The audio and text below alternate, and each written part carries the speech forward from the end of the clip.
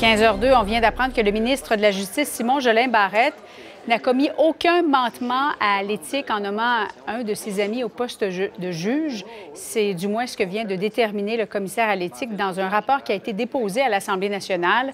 Selon le commissaire, divers témoignages et le CV du juge Charles-Olivier Gosselin démontrent que celui-ci a toutes les compétences requises pour occuper cette fonction. Il n'a donc pas été nommé en raison de sa proximité avec le ministre Jolin Barrette, mais plutôt en raison de ses compétences. Restez des